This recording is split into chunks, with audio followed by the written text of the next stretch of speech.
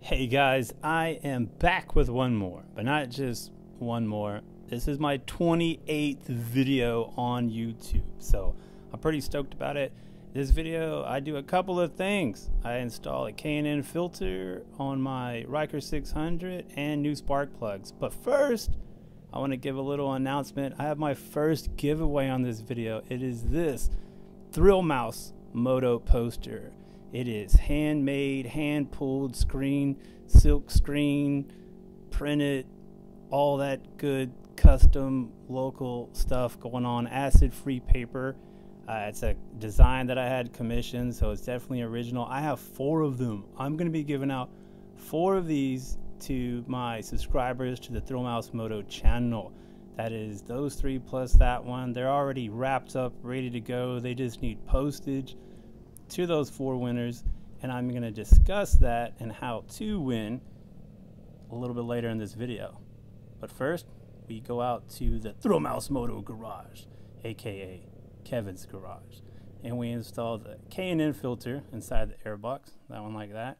We do a little bit of noise reduction and a little intake there, and then new spark plugs. Yep, straight out. So that's your coil. What? Thrill Mouse Moto. Like I said, Thrill Mouse Moto Garage. That's wrong. That's a Kevin's garage. Which, if you've seen some of the videos, you're kind of already familiar with that. Hey, Kevin's got all the good tools. You're probably familiar with that. You can see him. He's a, he just gave his a wash.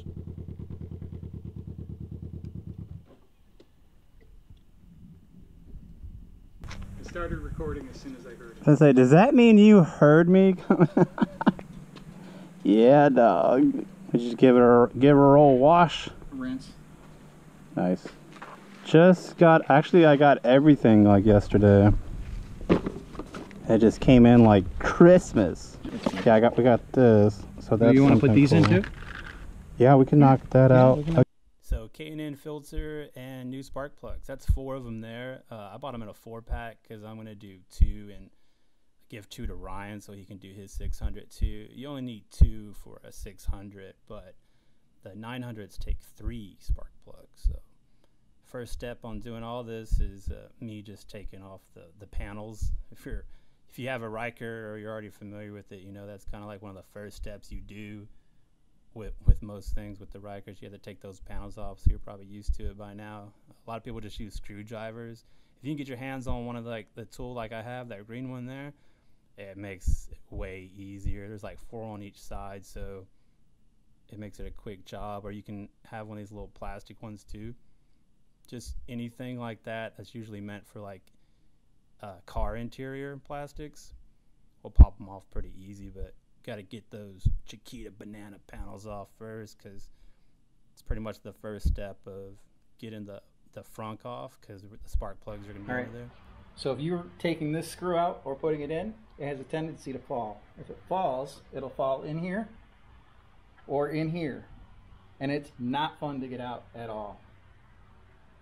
Short of putting taking the whole headlight out, it's you got to get like needle nose pliers in there or something. That's Kevin just giving you that pro tip. I thought I'd leave that in there. That sounds like something that people would want to know.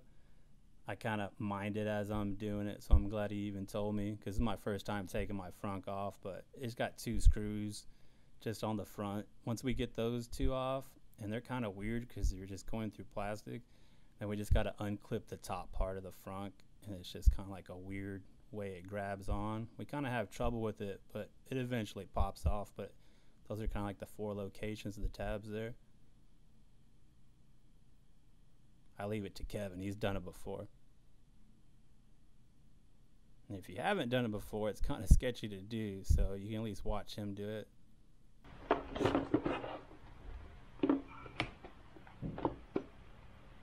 Aha!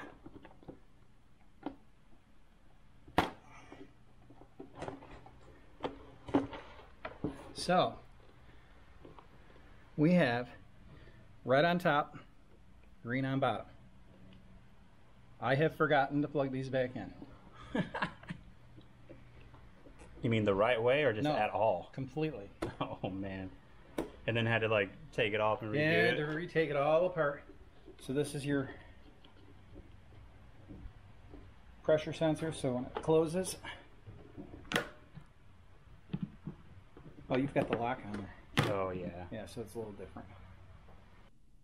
Yeah, Kevin's way colorblind. I don't know where he got green from. It's just like straight up black. One's black and one's red. So just remember, you know, where they came from. So when you put it back in, the first thing we do is uh, we just get a socket extension ready because we want to get in there and get those ground bolts off of each one. Like I said, two on mine because it's a 600. So just a little bolt there. Yeah, it's more of a bolt than a screw. And there's just two of them. You can kind of see with Kevin shining that light in there. Just like most of my stuff, this is not a step by step.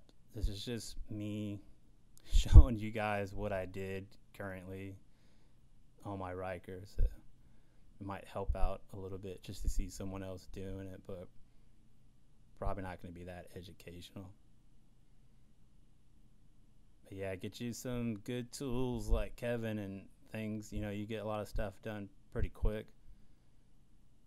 Like I said, most of the stuff you're doing the same thing, especially with the panels. Most stuff you have to do, you have to take the panels off. So you'd be an expert with those. And just try not to drop anything because, like what Kevin said earlier, it can be a drag. You're going to have to start taking a lot more stuff off if you do that. And you just kind of get those ground cables out of the way because you're going to have to unclip those um, what are we calling those? Coils? Yeah. It's like coil like tubes.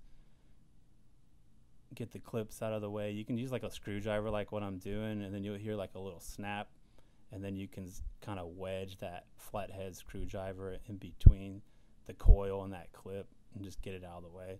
If you get them out of the way, you should be good because you really got to get your hand in there.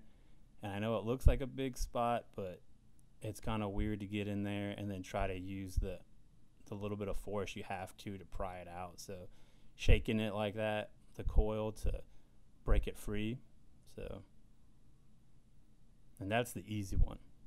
The other one is closer there to the um, whatever that is, like a little hose you can see right there. So that one gives, is going to give me trouble on this. And man, I, I don't even know as far as the, the 900s, because like I said, there's three. And I want to say the third one is right underneath that hose or like on the other side of it or somewhere real troublesome. So I'm not really complaining about this one. It was just weird trying to get your get your hand in there and still use the strength you need for it, but just working it back and forth got the coil out for me pretty easy. And then underneath there, you know, you have the two spark plugs. So it's, it's not a bad task. So just have a place to put everything and just remember, you know, the order you did it. And then we get sidetracked at this point and we just try to replace that boo boo, like Dollar Tree looking tape they put in there, like with the factory. And it was just to get like some wiring out of the way of the frunk. So when you, you know, pull it out and put it back in, you're not like pinching anything or anything weird like that. So Kevin had some pretty cool like high heat fancy tape that's way better than that dollar store stuff. So we just rip it out, rip it out, and replace it. Like I said, really just as getting sidetracked.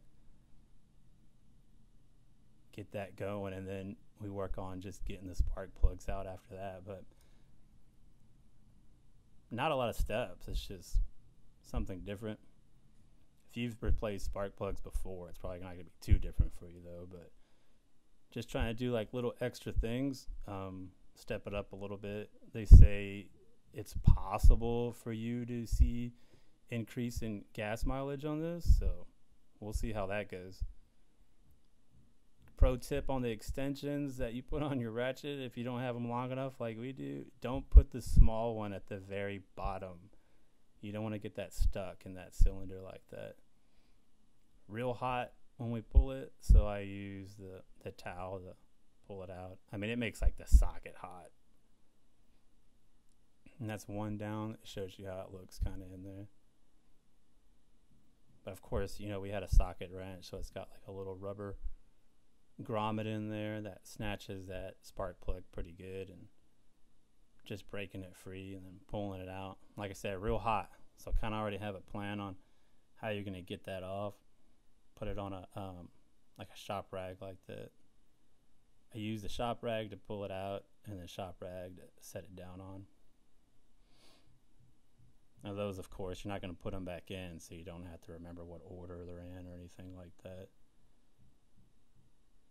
And that's both spark plugs out. You can see how like that rubber piece came off with the coil.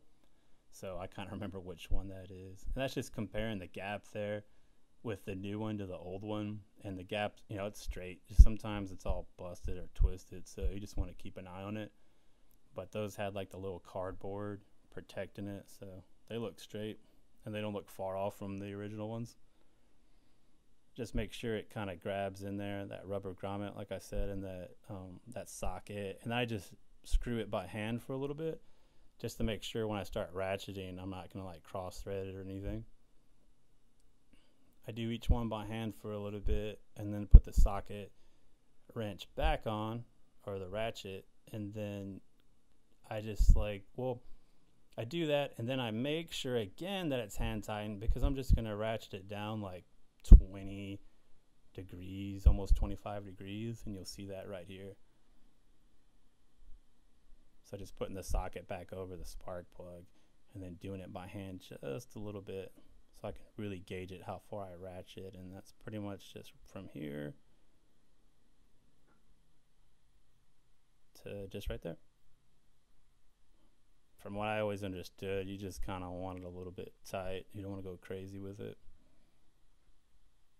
Same thing on this one. It had the protector on it and we check out the gap and it's not anything weird so we run with it on this one too. Same thing. Like I said, just pop it in the socket. Uh, make sure that little rubber piece grabs it tight. Drop it in by hand, and then ratchet about twenty something percent, or twenty something degrees. My bad.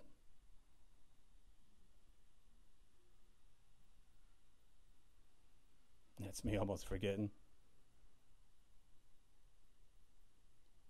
But yeah, like I said, not too sure how true any of that is, but figure do some more stuff about, you know, upgrading it where I can. And I mean, just the fact that like most OEM stuff on this is kind of whack. So replacing it with something I know is good and maybe possibly get an improvement on it, I'm down with that. So might as well just get it done.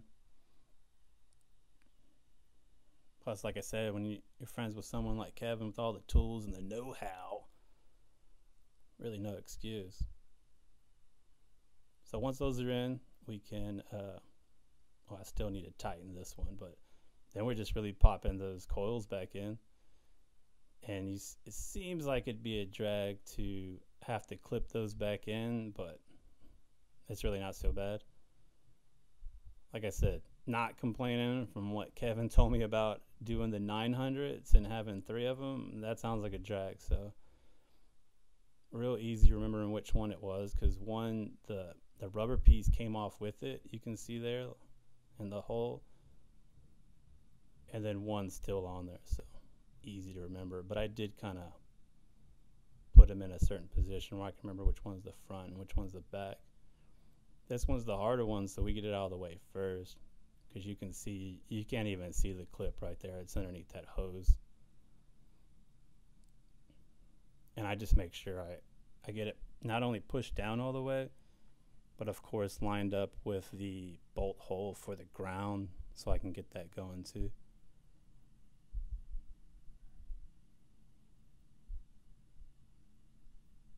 And I do like this, like underhand under that hose. You know, the coil's not going anywhere, so you can see it just snap snap into place right there. and then I just get the the bolt kind of hand tight right there because I can knock both those out at the same time when I get the ratchet set back up for it after I drop the other one in. So hand tight on that ground. We'll drop the last coil, the second and last coil in. Make sure it's lined up, pushed all the way down, and then lined up with that ground hole again.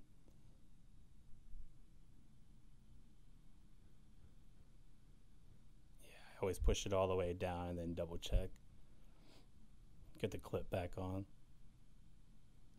That one was kind of weird. you think it would be the easier one, but I had to guide it in. Using one hand to push, but guiding it in with the other. And then getting that ground bolt back on. Yeah, have a, I would say like if I gave a tip on anything I'm doing is of course have a good place to keep all these bolts and screws and stuff. I think I was just using Kevin's pocket the whole time. Am I bad on that? It looks like it's my camera that's going whack like that with all those waves, but it's that flashlight that Kevin has on it. But I wanted to, you know, show what I'm doing. I've seen like videos before, not Ryker stuff, but just other mechanic type videos, and you, you just can't even see what they're doing. So, like I said, it's not a step by step, but want to do what I can for you, at least see what I'm doing, and then we get to start it up.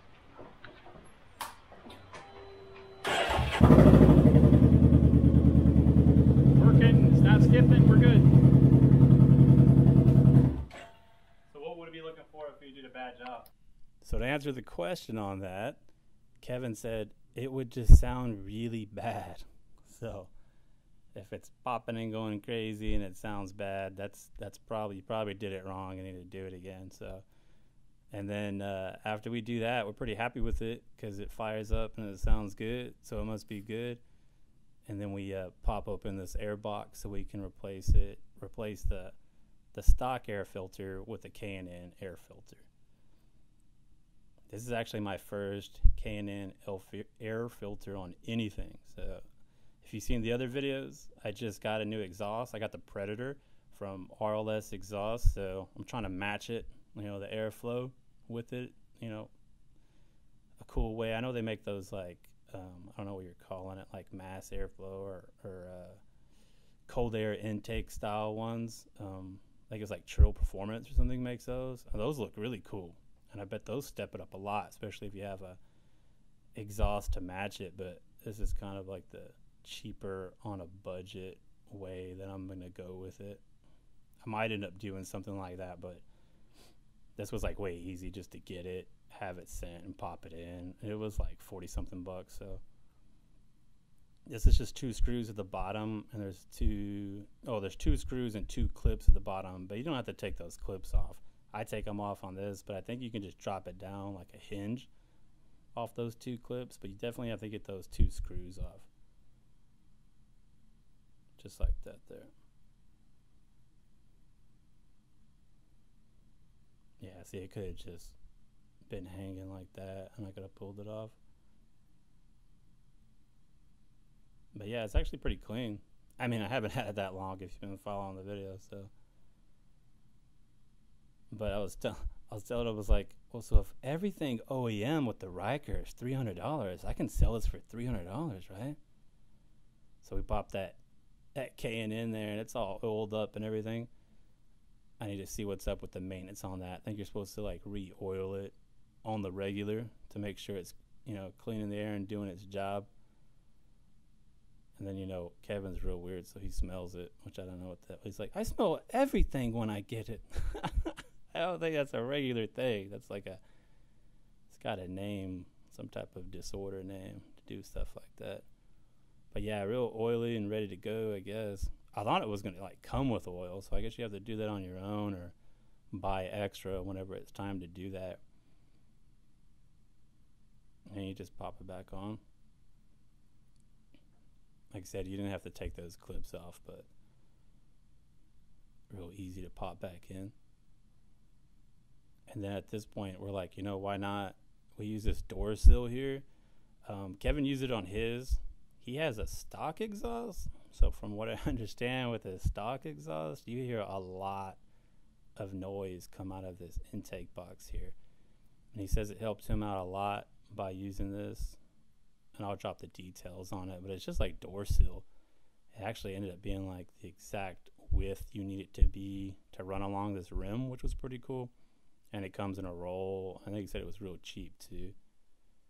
I'm sure you can use all kind of stuff, but this is what he did, and he was happy with it. And I figured since you know we were taking it off, we might as well. I've heard that the left side does it the most for people, so it was worth it for me. Probably should have did the right side at the same time, but like I said, I don't I don't have a stock exhaust, so I don't hear a lot of things. I may have heard it before and it didn't bother me, but I definitely don't hear little things like that now. But kind of like the spark plugs. If we're gonna be taking stuff apart and doing things and filming it, might as well just do every little thing I can. So, and it was pretty easy. It, it's it's like double sided, but only one side sticky. So the side that comes off the roll is sticky, sticks on there pretty good, and we just rolled it around and cut it. So no measuring or anything, just run it around. Then you just peel the top part off and makes a pretty good um, seal. It doesn't stick out or do anything weird. It didn't make it harder to to put the um, the top part back on or anything. Just peeled it off, popped it on. You can see that little part that Kevin's pointing out there. When you put the top back on, um, you just have to make sure you, you scoop around there first, like a tab. So start there. Yeah. And just slap it back on. And if you have it pushed down all the way and everything, and of course, I'll eventually put the screws back in, it seals up and you don't see any of that tape or anything. I mean, there's actually like a rim there, so I don't even think it could spill could spill over if it was too long. So really, anything you have, I think that was like some dollar store stuff anyway. So next time you're at the store, might be cool. And then we screw those back on, but and I think that's more like screws on plastic, so it's real weird. You want to make sure you got it lined up good. And we're pretty confident with the spark plug, so we're ready to close everything back up. Just got to remember those two, the two colors make sure you plug it in, like like Kevin was telling his stories where he didn't, and uh, plug them back in in the same color they were before, and you're good to go. If you're not familiar with Rykers, that's actually the power to your USB charging, so you can charge stuff while your your your Ryker is running. Charges when your Ryker is running. So if you need to charge your phone or anything while you're going, uh, it's a pretty cool little port. It's got like a LED light where you can see it and everything It's pretty sweet. Popping it in as far as those uh, four tabs at the top was way easier than than pulling it off. It just looks like we just lay it in there and it just clips in just fine. It wasn't real audible, so I wouldn't probably trip if you don't hear like a loud snap like when we removed it. And then uh, that's that's as far as how the the front secures on the top, and then you got the two screws down at the bottom, and those are like screws on plastic too. So make sure you have it lined up good. You may have to like kind of shimmy the the front door lid back and forth so you can line up the holes real good so you're not just like screwing into other plastic. But same two screws, we just pop them back in. That's pretty easy. Just takes a while to ratchet them in after that, then I'm just going to pop the panels back on. And that's definitely something that's way easier. I mean, it's easy to take them off, but even easier to pop them back on because you just take those plastic pins. And that's another thing if you're in the habit of like switching out panels and everything, like I am, because I have these black ones, the Chiquita, Chiquita banana ones, plan on getting some more and you want to switch them out on the regular, just kind of have a system. Like I just put them in that plastic bag so I don't lose them while I'm messing around. Because you could be in a parking lot or whatever, someone else's garage, so you don't want to lose those. Because I do not have extra. I guess it's something you could buy. I probably should just order them now before something like that happens. But they pop back on. There's one pin that actually stays on the Ryker, the one that I'm pushing down right there If you want to push that one down first, it might make more sense. That's what I do. And then you have the um, the four on top. So I just knock out that part because once I start pushing the pins in, I'm I'm just zooming, getting it done. So put the whole other side on, and then I push that one pin that stays on there, the one fixed pin. Then the four on each side, just push right in. And you can see that orange bungee cargo net making a cameo in this. If you've seen some of my other videos, you've seen the stuff we, we get done with that. So definitely recommend an orange cargo, or doesn't matter what color it is, but a bungee type net. You can get carried away, even if you're not into like storage on the Ryker and everything with maybe like buying something that you probably shouldn't have if you were taking the Ryker there.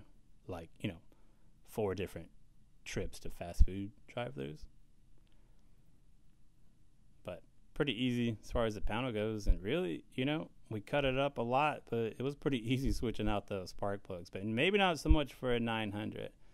And Kevin's got a thing where he can't stand to see Rykers as dirty as mine is. And I've actually even never, this is the first time it's ever been washed. He's showing a tip on getting that nasty sticker, that stock sticker that comes on the on the wheels. His fancy pressure washer just blows it off. But this pressure washer is pretty sweet, and I would probably invest in something like that where, I mean, it squirts soap and everything, getting that Baja Blast trip off of there. Only to like right after this, we're we're going to um, a restaurant in Austin called Uncle Nicky's. It slams like it's this crazy sandwich. It's called like a porchetta or, or something like that. I show a picture of it at the end. Man, it, it's too good. It was like their only hot sandwich, so which is what I'm into. So I had to get a hold of that. But yeah, K&N filters, spark plugs. Um, we get it cleaned up. The Chiquita Banana Ryker 600. But for the real part, the giveaway, man, this is this is gonna be my favorite video just because I've been wanting to do something like this. I finally got the art in. That's it right there. Uh, I had a whole nother artist, not the one that commissioned that I commissioned to do the art, which is original. Like I said, that's a Thrill Mouse Moto design, but another one to hand print these. You know, silkscreen, the good stuff, good paper, cardstock. I only did 25 of these. I have 25, and I'm giving away four of them. And not only that, there's more. I'm giving out the Thrill Mouse Moto decal. That's four of them each one is going to go in those four envelopes that I showed earlier, and th- they're just waiting for addresses. So here's the rules. All you have to do is subscribe, which a lot of you guys are already doing. But if you're thinking about subscribing, this is the time to do it. All you have to do is um, subscribe and then comment on this video. You can say whatever you want. You can say you don't like the video. You can say why do you do your hands like that when you drive past a motorcyclist and he doesn't wave back? Say whatever you want. Talk about how cool one of us are. I don't know. Or how much you like Little Nicky's right there. Or Uncle Nicky's. I keep saying Little Nicky's. Or the sandwich at the end of this. But that's it. Make sure you subscribe. Say that you subscribe in the comment and then whatever else you want. And I'm sending these out on Friday. So um, next Friday they are going out. I'm gonna make a video. I'm gonna make a video. I'm gonna do the randomizer and everything, and let you know who won. I appreciate you guys subscribing and follow me. Video 28. That's nuts. Uh, shrimp. I'm just taking it. Turning around on him. He's he's gonna do it. This is all I'm gonna do. It's gonna be a quick thing. Oh!